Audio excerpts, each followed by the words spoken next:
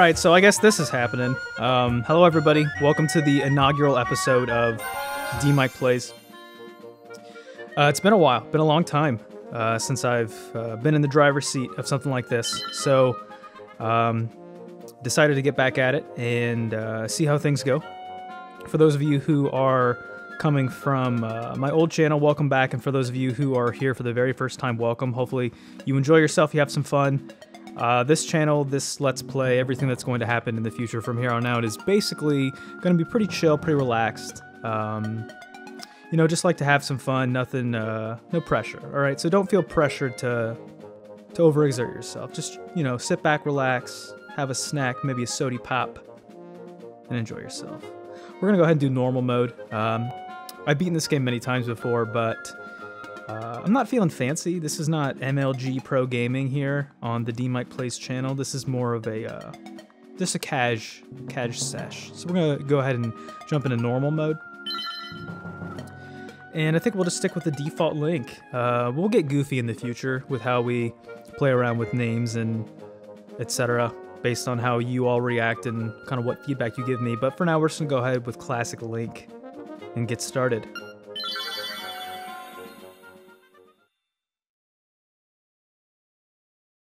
So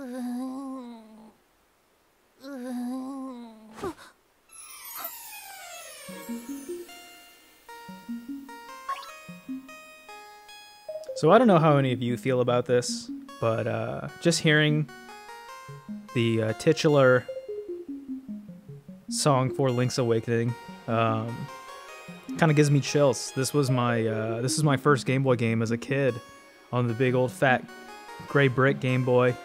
Got me through many long car rides on family vacations and moves all over the country. Um, yeah, it's a lot of fun. And this game is very successfully uh, attributed to the original. It's very similar. Uh, they did a great job as kind of a faithful recreation of that. Obviously, there's been some changes to it, but uh, as you'll see, it's pretty it's pretty faithful. It's pretty good, um, and a lot of fun.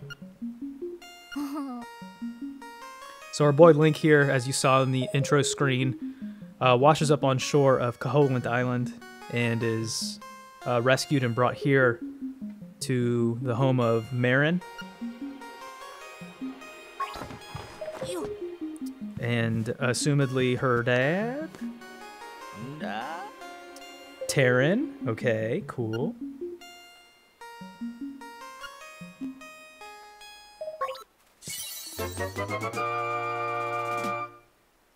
So this uh, this nice duo here rescues us and lets us stay in their home.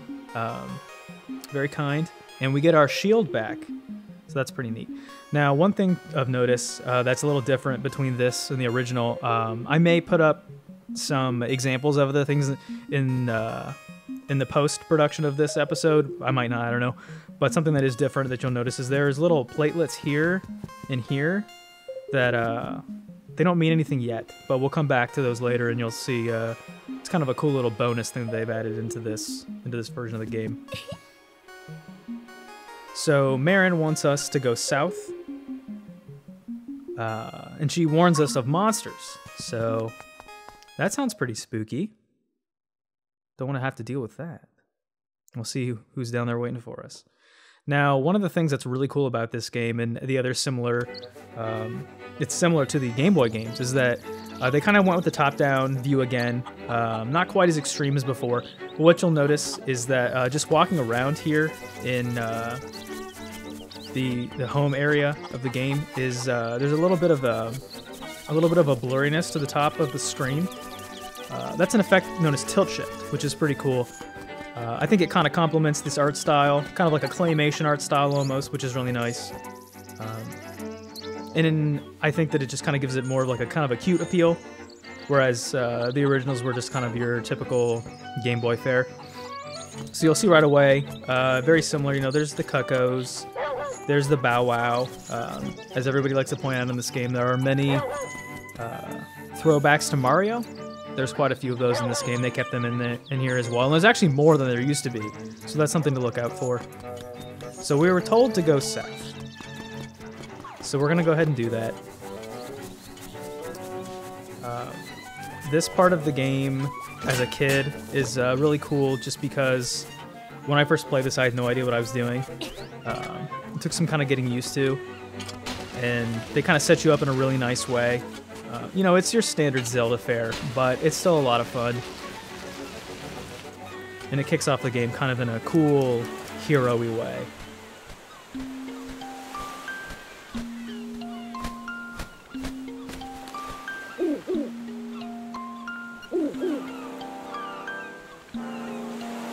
Alright, so clearly everybody is very upset with us. We've done something wrong. Everybody's very mad. I don't take personal responsibility, so I don't know what Link did. But uh, apparently being unconscious shipwrecked is a capital offense on Koholint Island. But we are uh, given this kind of uh, ambiguous mission to wake some windfish. We're apparently not happy with our stay on this island, even though we've only been here for maybe hours. So our uh, our new winged friend, the owl, tells us that we need to go north to some mysterious forest. So first we're told that we have to, upon being shipwrecked and unconscious, we're told that we need to go down to these to this beach where we wound up almost dead, where there are monsters and now we're being told we need to go to a mysterious forest. So clearly the hospitality of these guests on this island are not very high. So, I mean, if this was like an Airbnb or a Yelp review, uh, maybe one or two stars. I don't know. It seems kind of, uh, kind of dangerous. Setting us up for failure. But anyway, this is our sword. We only know that because it's in red. So, apologize for, or pink. Apologize for you red-green colorblinders. But we're given the uh, our first taste of of weaponry. Uh, this game is a little different in that um, the sword and shield are uh, locked to the B button for the sword and the R button for the shield, respectively. You can't change that. So for all of you A button sword users in the original game, where you could swap buttons for different weapons uh, in and out on your Posman, you can't do that now. So you're kind of stuck with this. It's not really a huge deal, but it does let us kill these uh, Spinies here. And these are the Link's Awakening oop, HD version of, uh, of. So you can block their attacks with your shield, you can kill them with one swipe of your sword, pretty cool. Nothing like a little bit of, uh, you know, casual genocide to the new place that you wind up on. It's actually recommended upon visiting as a tourist to Koholint Island that you uh, try to kill as much wildlife as possible. It actually kind of makes you feel more a part of the community. It's pretty cool. So they showed us that we've got, they said there are monsters down there. We've got the Spinies, we've got the Octoroks, uh, children. So Koholint Island is full of mystery and uh, clearly very dangerous entities all around. So we're supposed to go to that mysterious forest, but if we come up here for a second, we can see that Marin has come outside and uh, will sing us a tune. But um, apparently Tarin has beat us to the forest. That's weird. Oh, okay. We'll have to check out what he's doing up there. That's the uh, kind of the theme song of the game the windfish, the lullaby of the windfish. But prior to going up there, once you do have your sword, you can collect some hearts with slashing these bushes, but that's not where we're going here. Let's go ahead and fall down this well. Our self-preservation uh, as a new resident of Koholint Island isn't very high, by the way. So when you fall down there, you'll notice that if you've played a Zelda game before, this will net you your very first piece of heart. A piece of heart will, when collected in quantities of four, expand your life bar from three hearts to four hearts. You'll get a heart every time that you get four. So that's pretty cool. And it also refills your heart gauge. So it said that we could check out the uh, the sub menu here by pressing start. So it's very bare right now. We don't have anything to show for ourselves. Um, but you can see here that we've got a sword, our sword, our shield, a green tunic, that's what you start with. That's the kind of classic Zelda fare for Link. And then here is your little indicator of how many pieces of heart that you have. Gives you kind of a heads up on what you've got going for yourself. So, we're supposed to head north to this mysterious forest, which sounds dangerous and very spoopy. Um, and apparently there's moblins ahead. So I don't know what's wrong with Tarin and Marin, but clearly these people are not looking out for Link. They don't really have him kind of in, uh, kind of in their hearts. They just have to set them out into into the wild unknown. Second visit from the owl.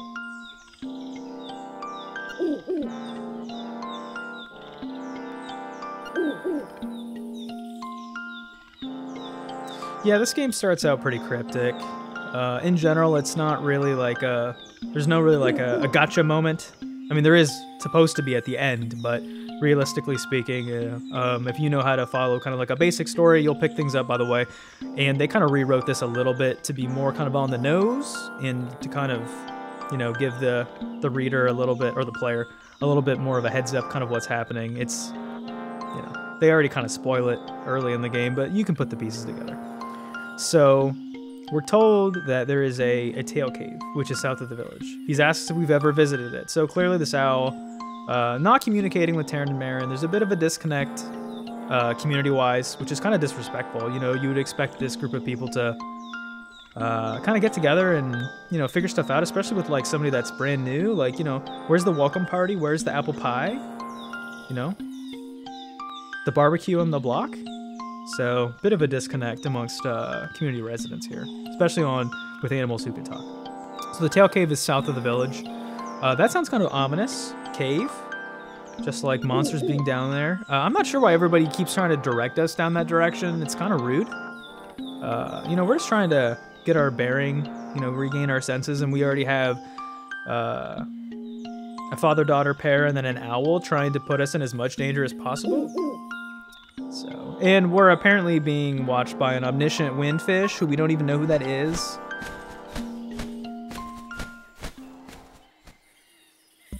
So, feeling a little hostile right now. The hostility of this island, a little, little curious.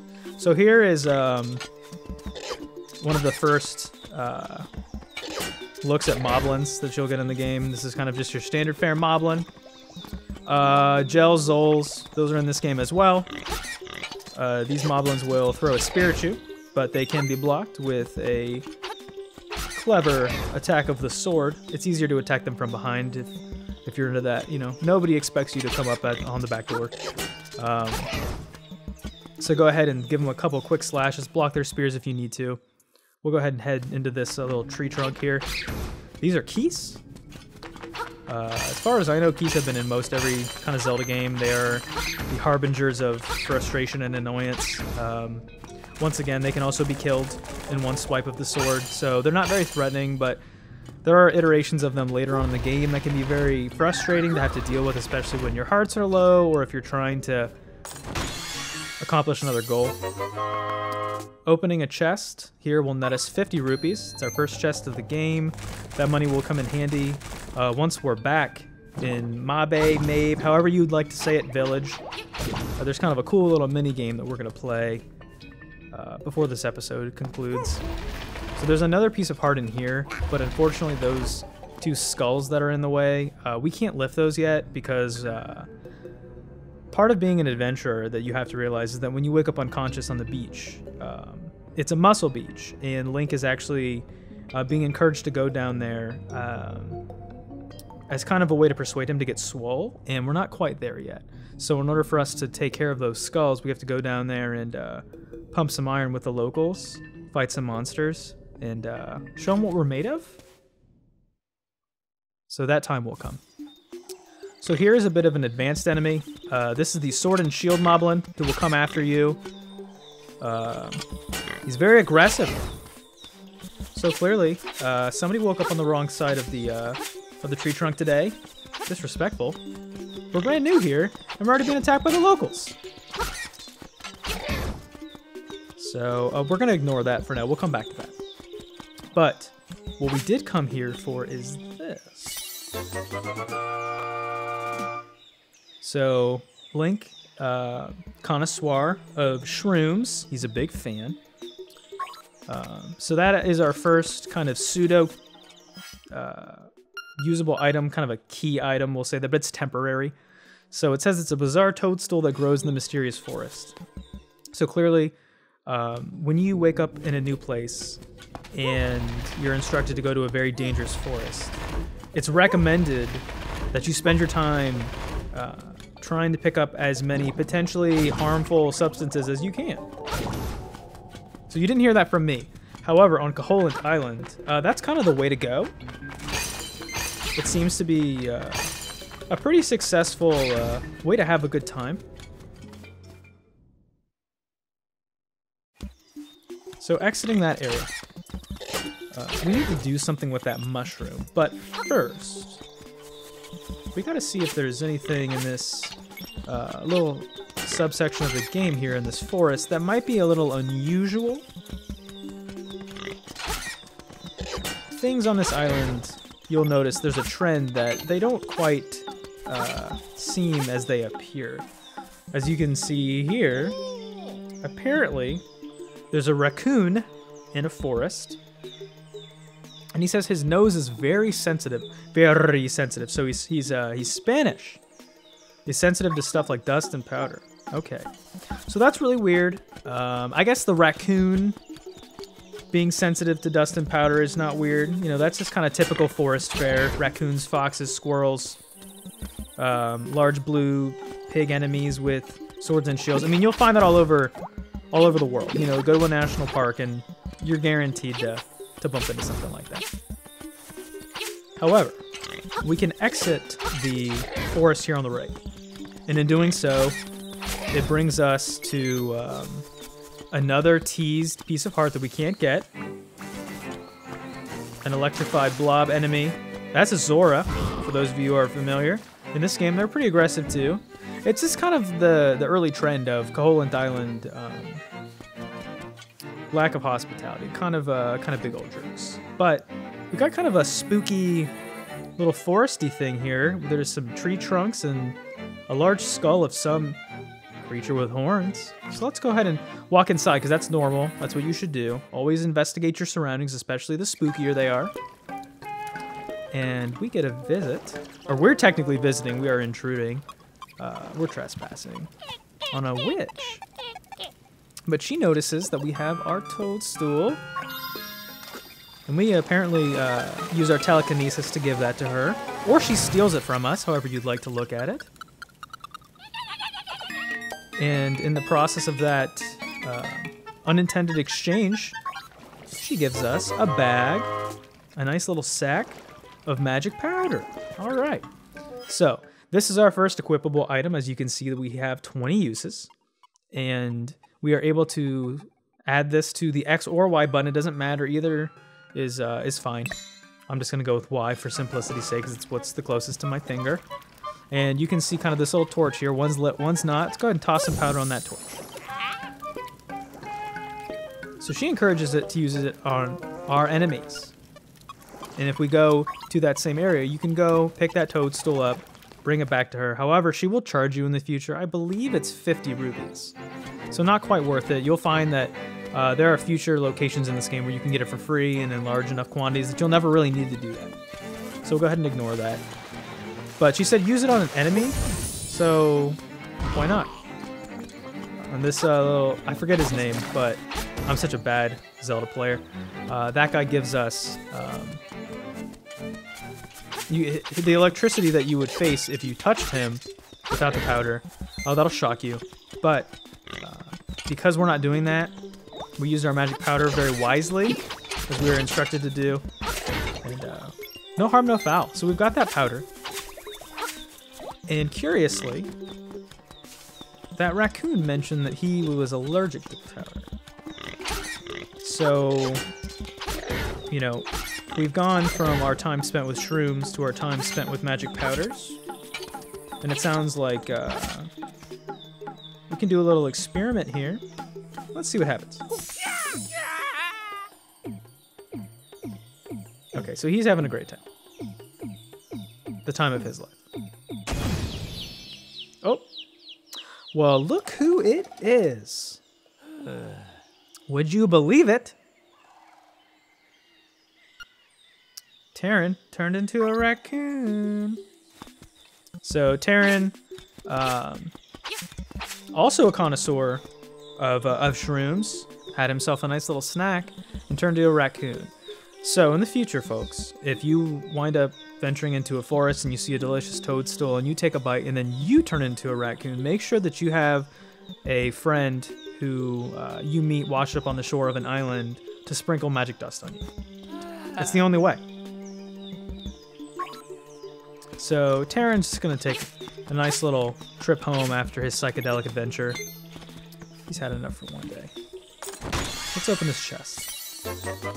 All right. So, the tail key that we were warned of by the owl is now able to be accessed with that key. Okay, well, great. Uh, thanks for spoiling it. And he says there's an instrument there. So maybe this is his, attempt to kind of pacify the situation. You know, I set you up in this very dangerous location on this island that you're unfamiliar with, and so maybe a little music to kind of uh, calm your nerves. You know? We'll see what Link knows. He's clearly adept with a sword and shield, so uh, maybe he can slay the masses with a little tune. How about that? All right. So, we're going to go down to the Tail Cave in the south by the shore. However, I did mention that there is a fun little mini game that we're going to try. This is in the original as well. However, it's a little different. This is uh, a bit of an up updated version of the original version of, uh, I said version twice. It's an updated version of the original. It's pretty fun. It's a crane game. And it has been made a little tougher in my opinion. Um, kind of the your depth perception is going to be tested here. If I screw this up too many times, I'm probably just going to cut until I succeed at what I'm trying to do. However, in this uh, in this area, you can see that you have multiple prizes. Looks like there's a, another bag of powder. There's a shield if you, for some reason, lost yours. But uh, have some respect for your belongings. Jeez. There's a purple rupee, another 50. There is a piece of heart, and there's a what appears to be a Yoshi doll. So let's give this a uh, give this a try. Mr. Trendy Gamester wants us to give him 10 rupees, so we can do uh, seven tries, seven flat tries before we screw up here um, and can't uh, pay our mortgage anymore. So we'll be out on our behind.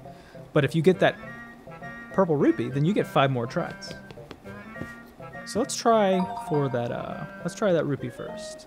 So you can see in the upper right, the instructions say to move forward with X and to move right with A.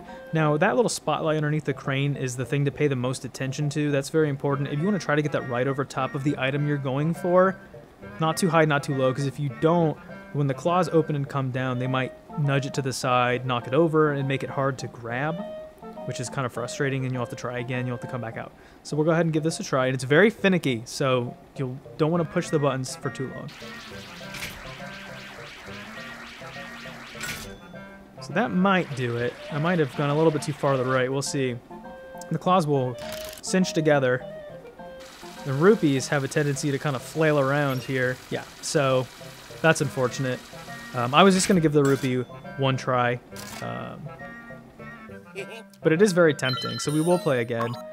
Uh, this time, let's go for the piece of heart. That is not going to do it. So that's one of the things that makes this kind of frustrating. Um, is that the original was a little more forgiving in how you were able to do this. This version is kind of... Um, it's kind of hit or miss. You have to be kind of on the nose in order to be successful at this. Uh, the other version in the original, um, the things kind of spun around in like a cube. That's not going to do it either. They spun around in a cube, which made things a little bit easier to grab the items you were after. Um, oh, that might do it. Unless the uh, piece of heart decides to be... Alright, well, I was not expecting that to be successful, so... That's our second piece of heart. That's pretty cool. Two pieces of heart in one episode. That's a pretty pro move. uh, as far as I'm concerned. So let's go ahead and try for that Yoshi doll here. Right over top. Everything that's kind of um, programmed into this game, the physics are a little wonky and they kind of flail around in in the crane, which makes it a little tough to predict how it's going to go. The farther away an item is, the more likely that it is going to travel when it's pulled through with the crane down to the little prize area, and that it kind of decreases your chances of getting it. So if you can pull the rupee, you might take two tries to get it closer to the little uh, conveyor belt. That might make it easier for you to collect your prize. Let's go ahead and get the piece of heart. Got two of those now. Pretty cool. And the real prize is the Yoshi doll. So that's pretty cool. Only uh, 10 rupees a try. Pretty cool, pretty fun. And uh, Suni, this child, who I don't believe had a name before, but why not? Um, says that their mom is desperate for a Yoshi doll. Now, uh, the Yoshi doll is the first item of the eventual trade quest that we're going to do throughout the game that nets you a pretty cool item at the end. Uh, most Zeldas, especially the handheld ones, do have trade quests, which is a lot of fun and kind of cool to to put together and you know keep exchanging things. It's like the paperclip for a Porsche of Koholint Island. His mom actually lives up here. So if we go in this house, we can complete a little bit of the trade quest today. We're not going to do too much of it. And you can see that she's got a little pedestal here in her house as well. She actually has two. We'll find out what those are for later. She asks us to give that Yoshi doll. So is she a choosing beggar here? Like, um, kind of demanding. That's kind of oh, oh, she's gonna give us something back. Okay, so clearly, uh, Yoshi doll for ribbon, fair trade. Uh, ribbons are going for a ton on the Koholint market nowadays, so that actually might have been a win on our side. We kind of might have. Uh, she might have kind of got shafted on that one a little bit. Sorry about that, mom. We do need to do something with that bow, though. And if we come in here, to the Bow Wow house. We can talk to Madam Meow Meow. And it says, she sees our ribbon, and she says that uh, her chic baby Chow Chow needs a new accessory. So if we come over here, we can see Chow Chow hanging out. We're feeling generous today. So we'll go ahead and do a little Yankee swap.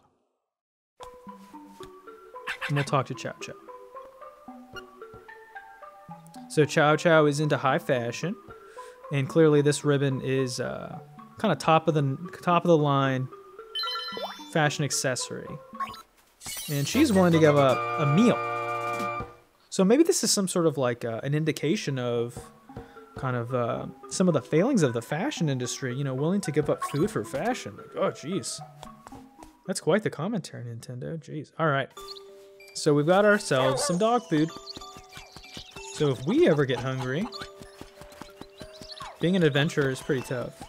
I mean, it, it, would be nice if there was like fruit on the island, but you know, when in doubt, dog food it out. So we're gonna head back. Instead of heading directly south, we're actually gonna head east a little bit first. And we're going to uh, make our way to the tail cave that we were told to head to like four times now. So, um, beat a broken drum, will ya? Coming over here. We do have a key in our inventory. That looks surprisingly like that. Weird. Okay. Let's go ahead and put this key in this keyhole. That's what they're made for. That feels good.